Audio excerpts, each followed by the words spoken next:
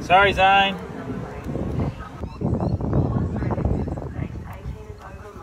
One more. You'll always remember me now, Zane.